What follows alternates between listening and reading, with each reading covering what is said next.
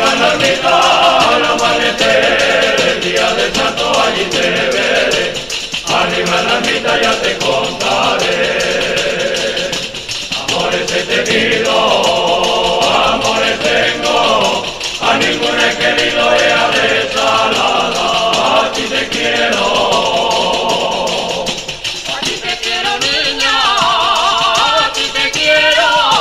Amores he tenido he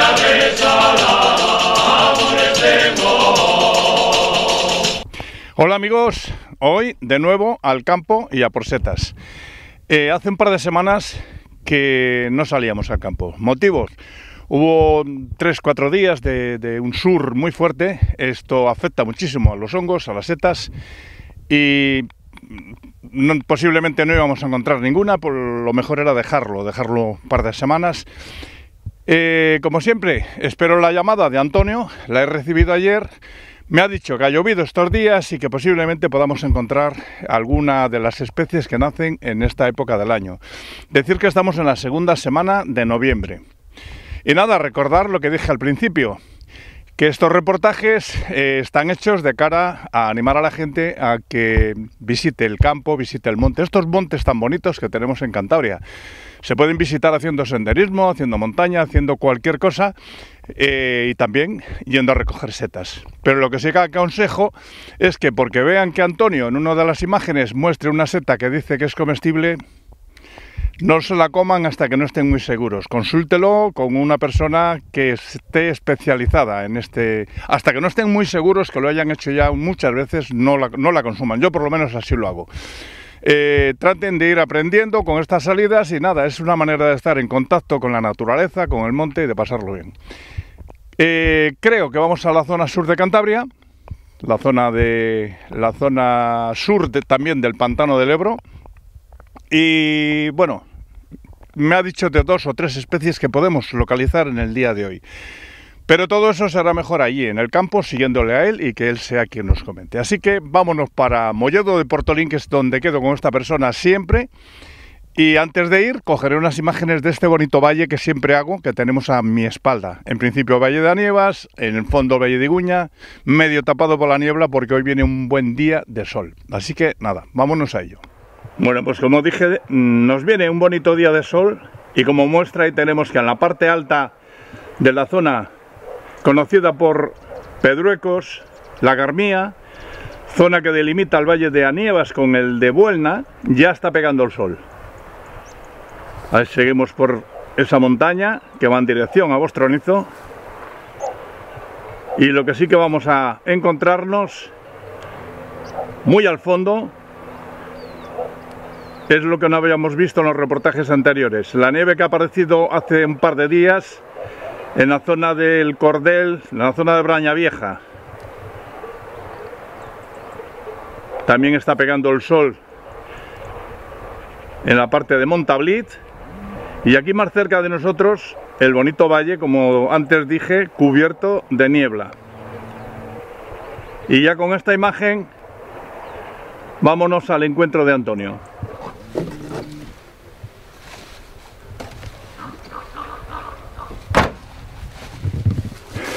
Bueno, pues ahí tenemos a Antonio. Veníamos al encuentro de él, ya lo tenemos. Antonio, buenos días. Buenos días, Tomás. Bueno, pues nada, que dos semanas sin venir por el monte, ¿lo has echado en falta? Sí, sí, sí, se nota, ¿eh? Se Eh, nota. eh, pero claro, el tiempo que ha hecho ha sido bastante eh, malo, digamos, muy agresivo. Y Sí, bueno, lo, he comentado en la entrada de este reportaje. Tuvimos unos días de sur y luego pues hemos como que esperado un par de semanas para que Eh. se regenere todo un poco, ¿no? Y nazca algo nuevo. afirmativo. Eh, estamos en un bosque de roble y también he dicho en la entrada de este reportaje que estamos en la segunda semana de noviembre. ¿Qué, mm, qué nos podemos encontrar? No sabemos si lo hay o no lo hay, pero Eh, la- ¿qué es clásico de esta época del año? El clásico, pues ahora em- empiezan a salir ya las Critocibers nebularis, la pardilla, eh, también las lespistas, eh, tanto la nuda como eh, las aebus, pie azul y pie violeta. Podemos encontrar todavía, bueno, más lenguas de vaca que ya llevan tiempo, Inu repandum. Eh, algún boletus todavía tiene que haber. Y bueno, y algún liófilum también, ahora empiezan a salir los liófilum. Eh, y bueno, vamos a verlo, aunque... Eh, fuera parte ya de las que hemos... eh, Este es el séptimo reportaje que hacemos dedicado a, a la micología. Eh, si nos olvidamos de las setas que hemos metido como seta estrella en cada reportaje, en este, si encontramos, ¿cuál meterías de estrella? Pues metería la Clitocibe nebularis. No es porque sea una seta excesivamente buena, es buena, pero bueno, no de las eh, buenas, buenas, buenas, excelentes, sino porque eh, es interesante que la gente sepa lo que es la pardilla, Clitocibe nebularis. Eh, los cuidados que hay que tener con ella y bueno, unas recomendaciones eh, de saberlas diferenciar perfectamente con otra muy problemática que es la entoloma lividum. Y bueno, ese comentario creo que es muy interesante el que la gente lo sepa. Y la podemos encontrar en un bosque de robles como nos encontramos. Afirmativo. Bueno, pues nada, decir que estamos en el, en el sur de Cantabria y, y que estamos en un bosque de robles, como ya repito y he dicho. Y vamos a ello, ¿te parece? Ok, Pues venga, continuaremos hablando de vez en cuando. vale. Mira, las primeras, Tomás. Déjame que las pille. Bien, ¿qué es lo que tenemos ahí, Antonio? Bueno, pues eh, vamos a verlo, a ver si podemos identificarlas.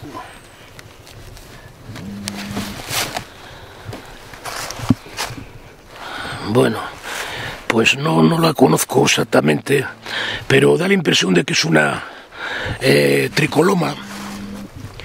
Pero bueno, eh, en cualquier caso, eh, no es eh, apetecible el consumirla, digamos.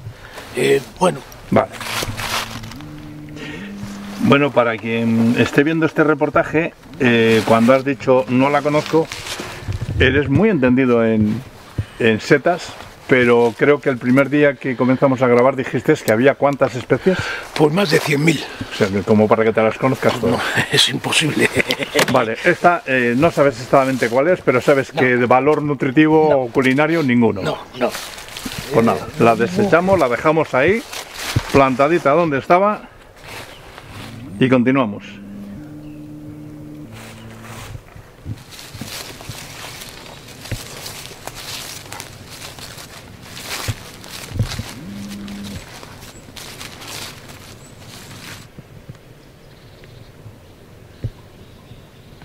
Otro de los encantos que tiene el bosque en esta época del año es el colorido de sus hojas de algunos árboles muriendo, de otros como el roble más verdes porque las tiran más, más tarde.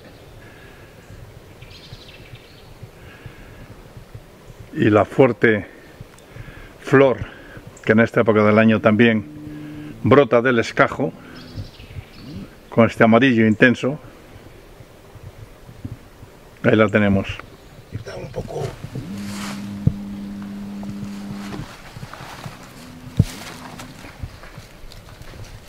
Y aquí hay otra.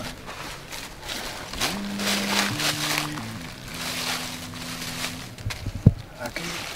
Eh, bueno, aquí vemos unas Innus repandum, lenguas de vaca vulgarmente.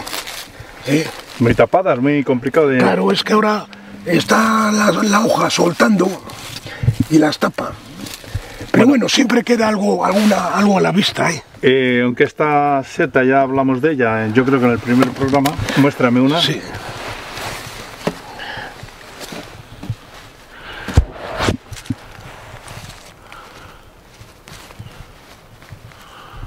Vale, vale.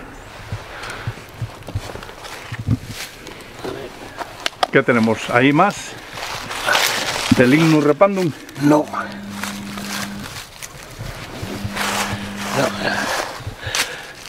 A ver, ponla en la mano y... Eh, no, no la conozco tampoco.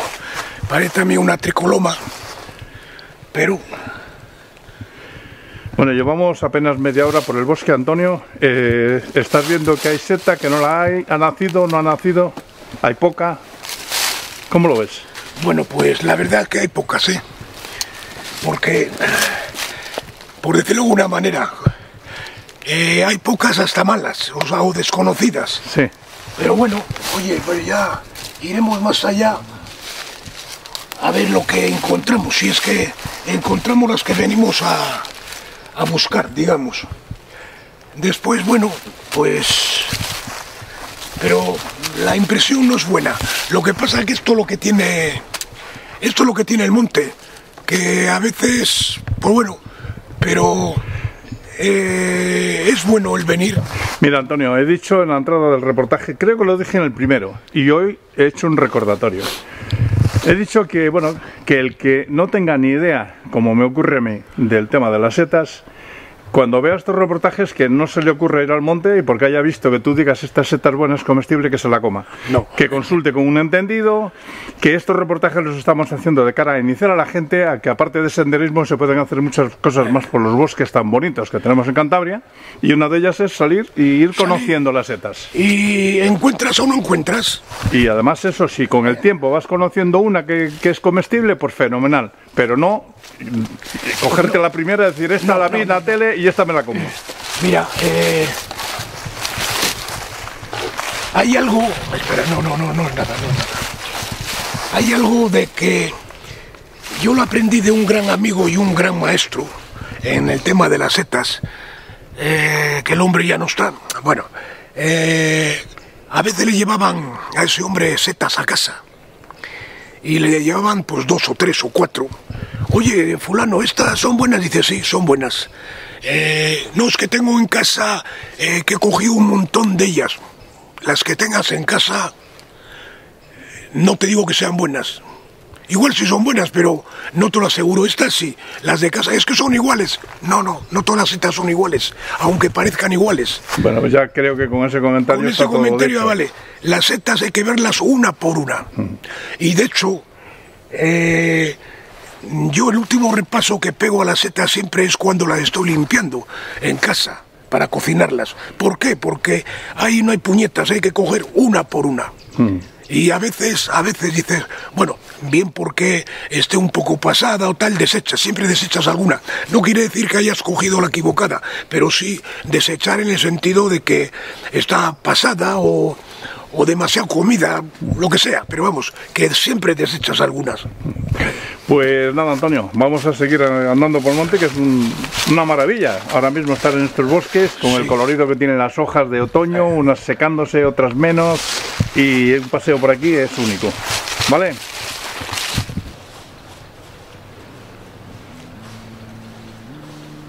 Ahí tenemos el colorido de la hoja del haya. El haya es posiblemente, junto con el avellano, en estos bosques, al primero que se le seca la hoja y se le cae. Y antes de caerse adquiere este color amarillo bonito. Totalmente diferente es la del roble, que se mantiene verde hasta muy entrado el invierno. Es posiblemente al último que se le cae del bosque.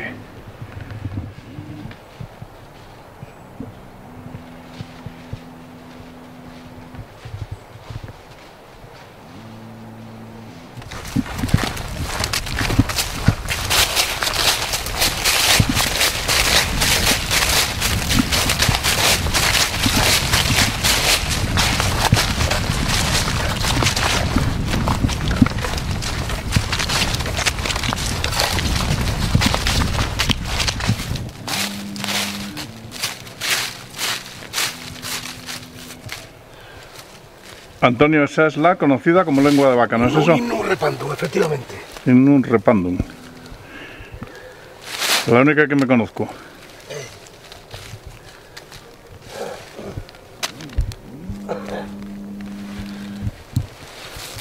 Bueno, pues esta las he localizado yo. Vamos a llamar a Antonio a ver. Seguro, seguro que, que no son comestibles, pero vamos a esperar la- su opinión. Eso seguro. Estas son armillarias melleas. Es un parásito de la madera. Y mira, tiene el pie siempre alargado. Muchas veces cuando salen muy juntas con anillo, aquí tenemos el- los restos del anillo.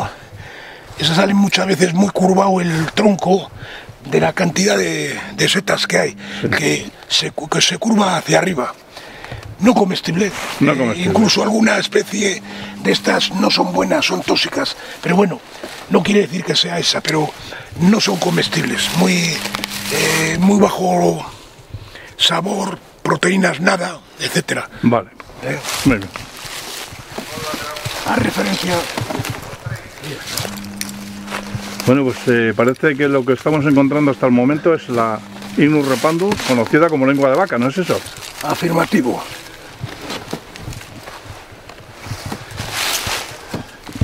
A referencia Al, a la navaja. eh, esa navaja que te estoy viendo hoy, Antonio, ¿es especial para esta, la recolección de la seta, para cortarla debidamente? Sí, y, y limpiarlas. Mira, esta porque no se, atas- no se atasca. Bueno, esta está, pero después la, se le quita el... A ver la navaja, enséñame. Sí, para cortarla está muy bien.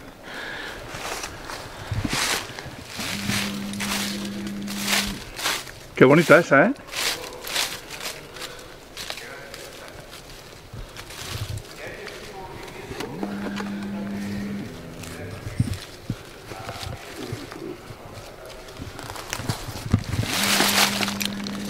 Ya, pero esta...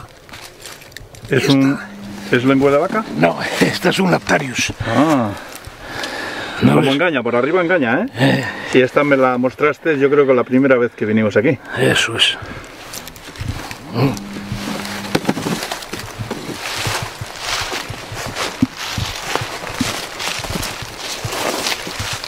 Salir por aquí a, a la pista.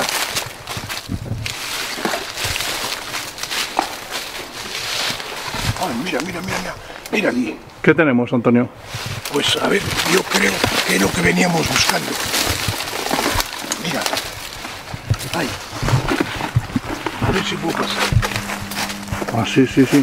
¡Uh, son enormes! ¿Qué seta es esa, Antonio? Pues esta es la Clitocebe nebularis, Nombre vulgar. pardilla. Vamos a ver.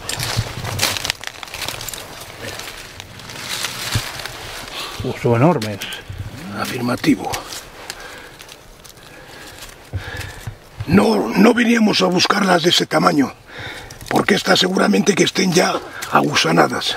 Bueno, Pero eh, bueno, lo miramos. cortando el Sí, tronco sí, se ve, está, ¿no? Está agusanada. ¿Sí? Y sin cortar el tronco. Mira, yo las pardillas cuando quiero saber si están aptas para comer, las hago así. A ver, eh, muéstramelo hacia acá, que es que no lo he pillado. Ah, ah, sí, sí, sí. ¿Ves? Ahora, esta seta es la que yo quería comentar. Bueno, aquí tenemos. Allí Si puedes coger esa grandota que tenemos ahí, es que es impresionante. Y me hablas de ella, sales un poquitito aquí al claro y me A haces ver. el comentario de ella. Quizás otro día si las encontramos eh, más nuevas, volvamos a... Comentamos fuera, sí, Sí, ahí bien. Ahí las tenemos más metidas entre la hoja. Pero que están igual, están buenas. Mira, esta es la Clitocebe nebularis. Veníamos a buscar esta, pero bueno, no las condiciones que está, puesto que está, está ya agusanada, que hay pinchos y me de la, de la cebo y me pincho.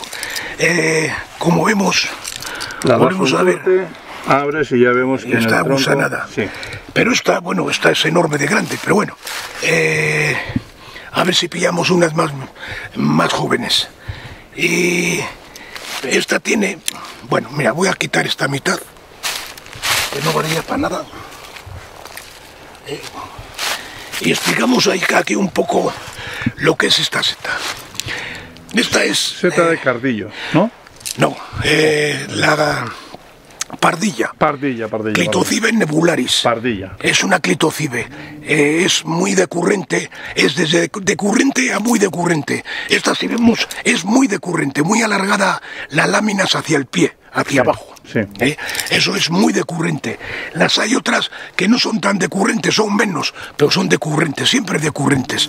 Después esta tiene un olor muy característico que como te quedes con el olor no la puedes equivocar nunca. Si él has cogido el olor es mm, dificilísimo, muy difícil el equivocarte de ella. Porque esta es comestible, pero Vamos a ver, con condiciones. Ahora me explico mejor. A ver, saco la otra navaja. Eh, esta hay que quitarle la cutícula.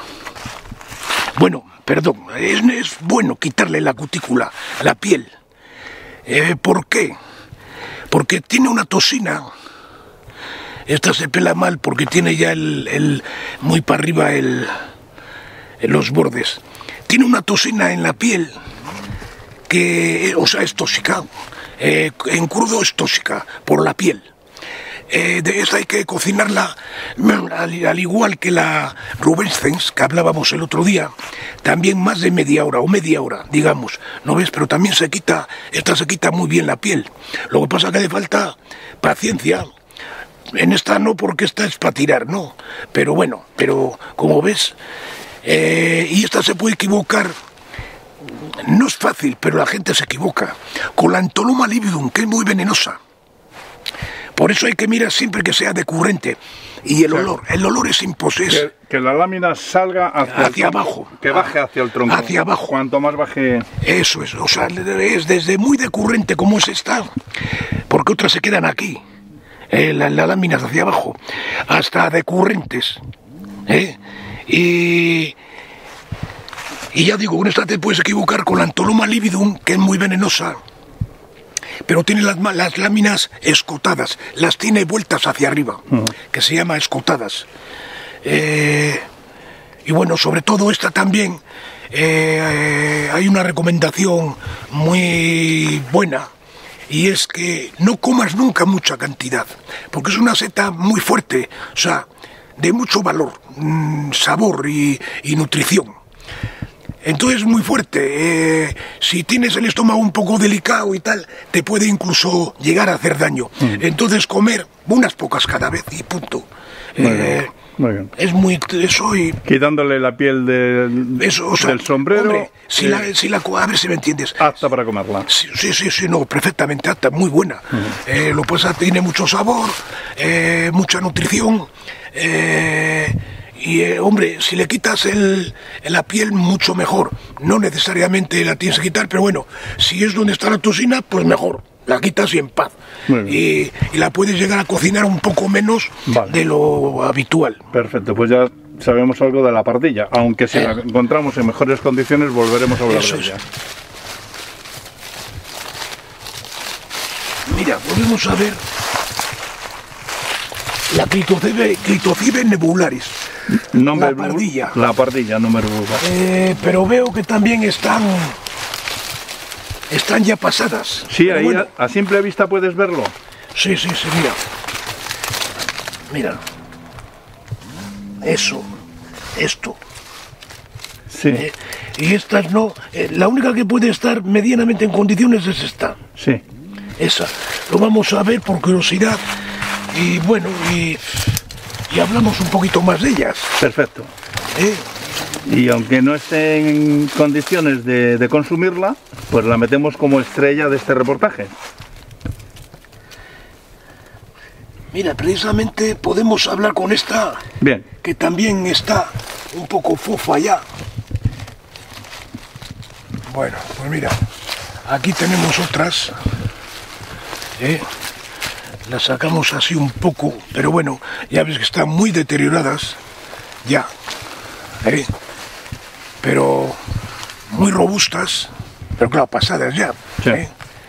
Eh, ¿no ves? Se, están ya con mucho agua y se sí, bueno, ya sabemos que están malas. Háblame ahora de cualidades de ellas, manera de conocerlas, alguna otra cosilla que se nos haya quedado. Bueno, eh, mm, yo creo que la, la, la forma más característica, aparte de la forma, claro, estas ya están un poco deformadas porque están abiertas, porque salen muy cerradas, muy macizas, por eso se hacen, como has visto antes, muy grandes, al final cuando ya se deterioran, y, pero sobre todo es que la, la forma más característica aparte de sus formas decurrentes o muy decurrentes. Eh, vuelve a girarla para que el espectador sepa lo que es, recurrente. Muy esta es recurrente. Sin embargo, la que hemos visto antes llegaba, por decirlo de alguna manera, las láminas hasta aquí, hacia abajo. Y eso es decurrente o muy decurrente que hablábamos antes. Estas ya son decurrentes y es sobre todo el olor. El olor, si te haces con el olor de la pardilla, es inconfundible. O sea, no hay posibilidad de error. Si, eh, cuando te has hecho con el olor, ¿eh? Es como, por ejemplo, la seta de primavera. Tendrá las formas tal pero sobre todo el olor, eso no hay quien se lo quite. Y eso es inconfundible con otra, otro tipo de seta, como hay otras, la maresmos oreades, la, la de cardillo, que llaman algunos senderuela, ¿eh? o sea, en castellano, no algunos en castellano, de que como cojas el olor, el olor de, ese tipo de setas, de esas setas, vamos, no te puedes equivocar nunca, nunca. Eh, porque los colores, los colores, las formas eh, de una de cualquier tipo de seta varía, dependiendo primero eh, colores por el sustrato de la, de la tierra. Eh, si la tierra es silicia, si es caliza, si es, o sea, los minerales que pueda contener la tierra. las formas, pues depende del, del el crecimiento de ella, si está en eh, el proceso inicial, si está en medio o si está terminando como estás. Hmm. Oye, Antonio, eh, estamos en la segunda semana, como he dicho ya un par de veces, de noviembre. Eh, el estado de estas setas ya es caduco. No. Este todavía le quedan más de 15 días. bueno, estas están caducas ya, ah, pero eh, ha sido por motivos de quizás de sur que ha habido de... o que han salido prematuramente y les ha pillado un poco el, eh, les ha pillado un poco el invierno, o sea, bueno, como quieres llamarlo. pero que las podemos encontrar durante todo el mes de noviembre, posiblemente. Sí sí sí, sí, sí, sí, las podemos encontrar y entonces verás las diferencias que hay de, de ahora Ah, entonces. Pues nada, vamos a meter como estrella de este reportaje. Si te queda alguna cosilla interesante de cara a no eh, confundirla y la calidad en, la el plato. La calidad es buena, es buena, pero con, condiciones. Sí, decías antes que importante quitarle la lámina. bueno, importante. Mm, lo importante es el, el cocinarlas media hora. Sí. Cocinarlas media hora. Eh, si están atas para comer, si le quitas, aunque no sea el 100%, el 100%, el, el 100 de la de la cutícula. La cutícula es la, lámina del es, la, la piel la piel, en la cutícula. Eso es súper importante, ¿no? Eh, bueno, no es importante el quitárselo, pero sí cocinarlas muy a tal. Pero si aparte de cocinarlas bastante, eh, tú le quitas donde, de donde procede la toxina que tiene, pues mucho mejor. Mm. Me explico, no es totalmente necesario, pero es bueno. En esta ya no importa porque está pasada, pero en las jóvenes además se quita que no quitas el 100%, pero sí el 60, 70 o el 80%. ¿eh? ¿eh? es una seta muy agradecida en cuanto a sabor, muy con mucho cuidado la cantidad que puedas comer. Sí, lo has dicho antes. Mucho cuidado. El, si eres de estómago delicado o, o, comes piedras, por decir de alguna manera, o sea, que el estómago lo aguanta. Y, y, bueno, sobre todo el, el, no equivocarte con la entomolibidum. Pues eso es que es, bueno, sí, no es fácil encontrar una, una entonoma libidum, pero si la encontraríamos, que es muy difícil porque yo eh, las he visto dos veces, pues no es fácil encontrarla, pero veías, verías la diferencia, en los libros se puede. Pues Antonio, ha sido una nueva salida al campo. Eh, Pensábamos encontrar esta seta en mejores condiciones, pero yo creo que para que hables de ella y la muestres y nos des estos datos que has dado, da lo mismo como este. Sí. No está apta para que la consumamos porque está ya pasada, Hombre, pero eh, lo dicho. sí. Hoy, eh, estrella de este programa, la El Clitocibe nebularis, pardilla. pardilla. Pues nada, hasta la próxima salida, Antonio. Vale. Bueno, pues nada, que al final uno de las variedades de seta que pensábamos localizar hoy, sí que la localizamos, eh, fue la pardilla, en muy malas condiciones, muy pasada ya, pero para hablar de ella, para mostrarla, para enseñarnos cuál es, servía. Que nada, una, una salida por el campo, como hemos tenido hoy, por este bonito bosque, en el pueblo de Arroyo. Eh, siempre apetece y vamos a tomárnoslo por ahí. No había mucha seta, pero la salida ha sido bonita y pudimos localizar este tipo de seta, la pardilla. Que esto ha sido todo, posiblemente volvamos en otra ocasión y volveremos a mostrárselo a ustedes. Así que hasta entonces. A ti te quiero, niña, te quiero. Amores he tenido de avesala, amores tengo.